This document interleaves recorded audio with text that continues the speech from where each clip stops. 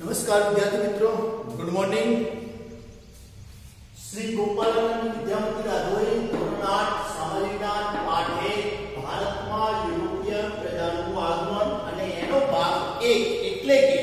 આપણે અત્યાર સુધી ધોરણ આઠ સામાજિક વિજ્ઞાનનો એક પણ વીડિયો નથી બનાવેલો, તો આજે આપણે એની શરૂઆત કરીએ છીએ અને કોરોનાની મહામારીના કારણે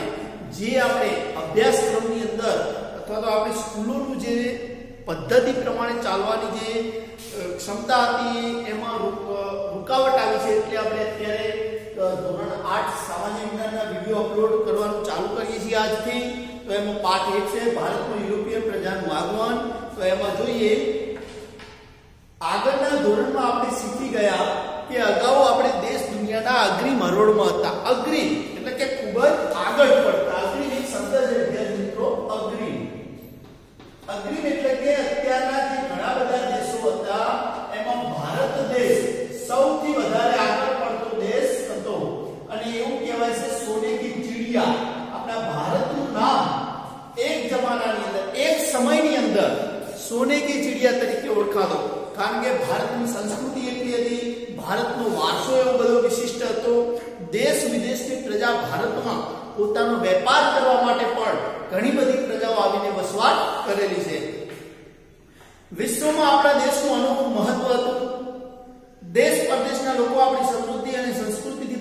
થઈ રહ્યા હતા વિશ્વના ઘણા લોકો આપણા દેશનો વેપાર કરવા અને ધન કમાવા માટે આવતા હતા. આપણે વાત કરીએ પ્રમાણે કે ભારતનો વારસો સાંસ્કૃતિક વારસો અથવા તો પ્રાકૃતિક વારસો જેમાં ઉત્તર હિમાલય, એની ચારે બાજુ સમુદ્ર અને એ સમુદ્રની વચ્ચે આપણો ભારત દેશ, તો આવા વિશિષ્ટ જેનું આપણે વાતાવરણ કહીએ અથવા તો એનો વારસો કહીએ, એ સમૃદ્ધિ અને સંસ્કૃતિથી પ્રભાવિત થઈ બીજા દેશના લોકો ભારતમાં આવીને વસવાટ કરવા લાગ્યા અને ધીરે ધીરે વેપાર અને ધન કમાવા લાગ્યા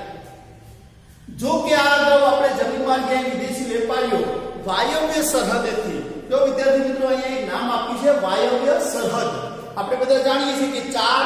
દિશાઓ હોય છે ઉત્તર દક્ષિણ પૂર્વ પશ્ચિમ એવી રીતે ચાર ખૂણાઓ આવે છે ઈશાન નૈઋત્ય વાયવ્ય અને અગ્નિ તો ચાર દિશાઓ અને ચાર ખૂણાઓ અને એમાંનો એક ખૂણો છે વાયવ્ય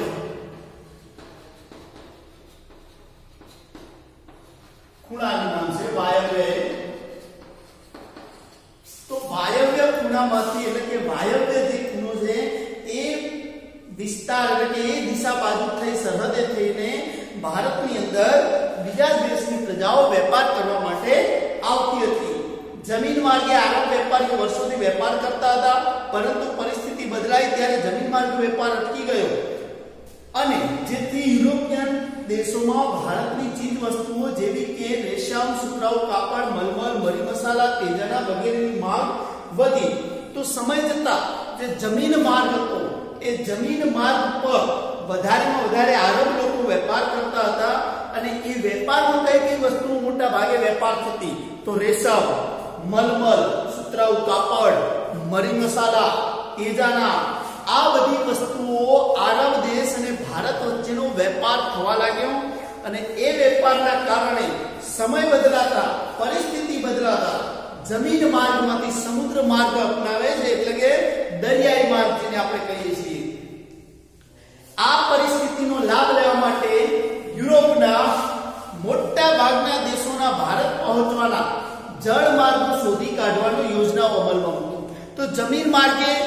એમને બહુ મુશ્કેલીઓ પડતી છે, કોઈ તકલીફો પડતી છે. તો એના કારણે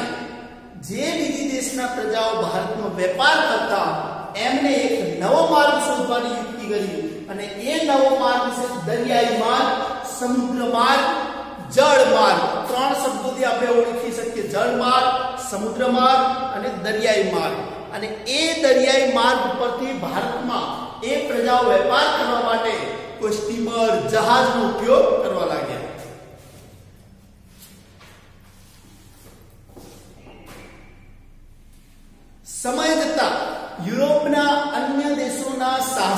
સાગર ખેડૂએ ભારત આવવાનો જળમાર્ગ શોધી કાઢવા માટેની શરૂઆત કરી તો જેમ જેમ સમય ગયો એમ દરિયો તો વિશાળ છે આપણે બધા જાણીએ છીએ કે સમુદ્ર જે છે સમંદર સમુદ્ર એનો વિશાળ પટ એનો જે કિલોમીટર કહીએ એ પણ આંકી શકાય એટલો સમુદ્ર વિશાળ મોટો છે તો એની જે દરિયાઈ માર્ગ શોધવાની શરૂઆત સાગર ખેડુઓ જે હોય છે એટલે કે સાગર દરિયાની અંદર જે મુસાફરી કરતા કરતા નવા રસ્તાઓ શોધતા હોય છે, એવા લોકો દરિયાઈ માર્ગ શોધવાની શરૂઆત કરી દીધી. હવે આપણે એક નામ આવે છે, ક્રિસ્ટોફર કોલંબસ. એના વિશેની વાત કરવાની છે. એક નામ છે ક્રિસ્ટોફર કોલંબસ. એના વિશેની વાત છે, જોઈએ શું કહેવામાં આવે છે. ભારત આવવાનો જળમાર્ગ બીડું ઝડપનાર અનેક સાહસિકોમાંની એક ઇટાલી રહેવાસી પ્રસિદ્ધ કોલંબસ હતો જો આ તો ઇટાલી દેશનો ક્રિસ્ટોફર કોલંબસ ભારત આવવાનો જળમાર્ગ શોધવા માટે પ્રખ્યાત જે વ્યક્તિ હતો જેનું નામ છે ક્રિસ્ટોફર કોલંબસ અને એનું દેશનું નામ હતું ઇટાલી દેશનો વતની હતો તે માનતો કે પૂર્વમાં જવા માટે પશ્ચિમ બાજુથી પણ જઈ શકાય આમ સાથી વિચાર્યું છે તે વિચારોને કોલંબસે ઓગણીસો ચૌદસો બાણું માં ભારત આવવાનો નીકળ્યો ચૌદસો બાણું માં ઈસવીસન ચૌદસો બાણું માં કોલંબસ ભારત આવવા નીકળ્યો ભારત આવવા નીકળ્યો તો આ આપણે ક્રિસ્ટોફર કોલંબસ વિશેની વાત છે કે એને પશ્ચિમ કરતા પૂર્વમાં જવાનું પસંદ કર્યું અને એ સમુદ્રની પૂર્વ દિશા તરફ આવતો થયો 1492 ની અંદર ભારત આવવાનું જળમાર્ગ શોધવાનું આવવા માટે નીકળી ગયો એટલે કે જળમાર્ગ શોધવાનો પ્રયાસ એને શરૂ કરી દીધો અને આકસ્મિક રીતે તે અમેરિકા જઈ ચડ્યો અત્યારે આપણે જાણીએ છીએ કે અમેરિકા મહાસત્તા ધરાવનાર દેશ જે છે એનું નામ છે અમેરિકા અને એ અચાનક કોલંબસ અમેરિકામાં જઈ ચડ્યો અમેરિકામાં પહોંચ્યો તો આપણે એવું કહી શકીએ કે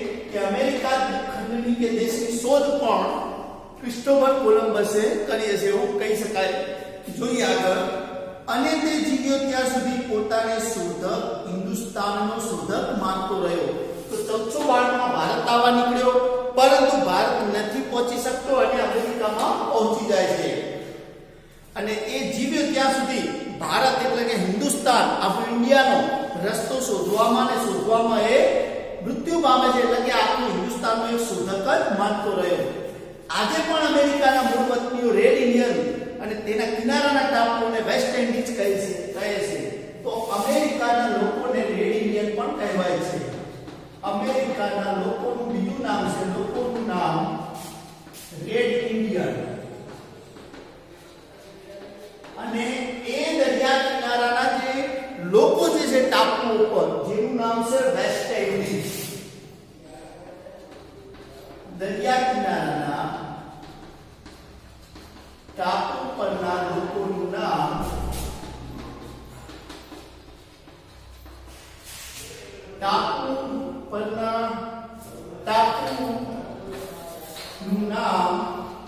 વેસ્ટ ઇન્ડિઝ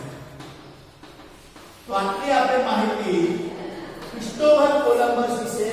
મેળવી શકીએ કે તેને 1492 ની અંદર ભારત આવવાનો જળમાર્ગ શોધવાનો પ્રયત્ન કર્યો ઇટલીનો વતની હતો અને તે અચાનક આકસ્મિક રીતે ભારતની જગ્યાએ અમેરિકા દેશમાં જઈ ચડે છે અને અમેરિકા દેશોનું બીજું નામ અમેરિકામાં રહેતા લોકોનું નામ એના કારણે રેડ ઇન્ડિયન પડ્યું पाकिस्तान को 110 मान तो रहे हो West Indies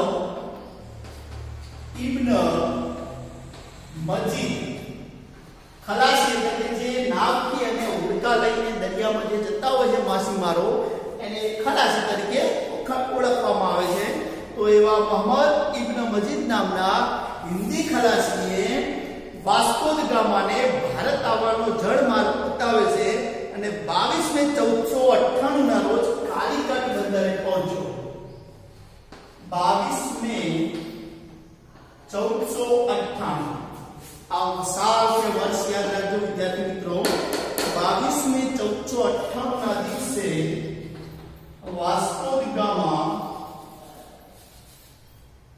ના દિવસે વાસ્કો દ ગામા કાલિકટ બંદરે પહોંચ્યું કયા કાલિકટ તો જ્યાં ભારતનું એક સ્થળ છે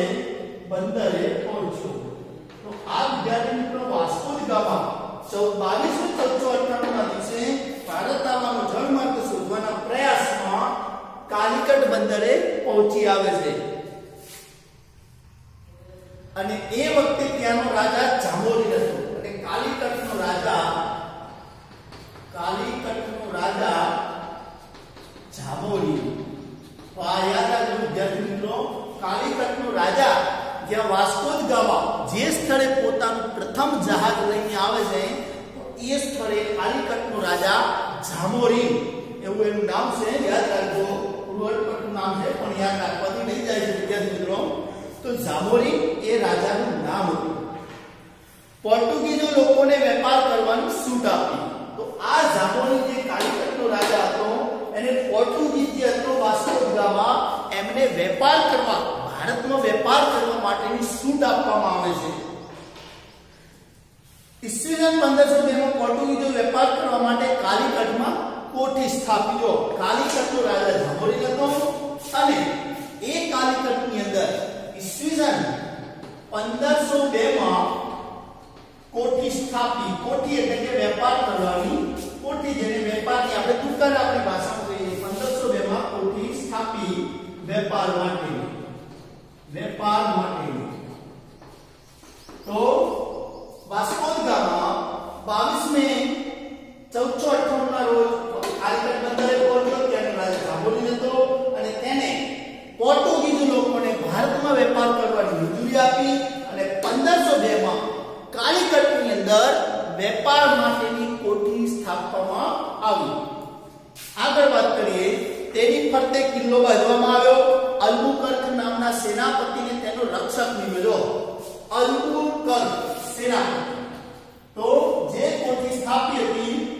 તો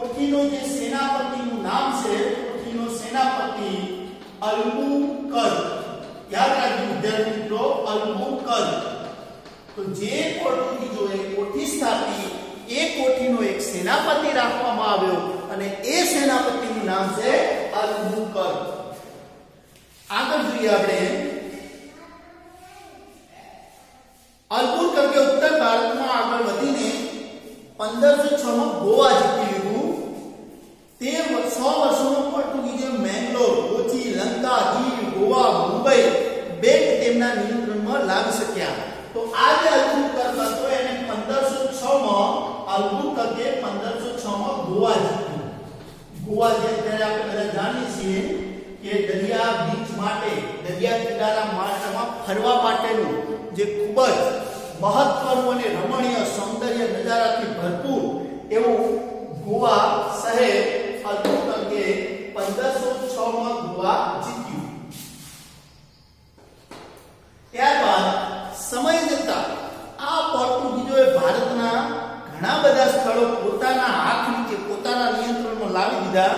એવા સ્થળોના નામ છે મેંગ્લોર કોચી લંકા દીવ જોઈએ આપણે મેંગ્લોર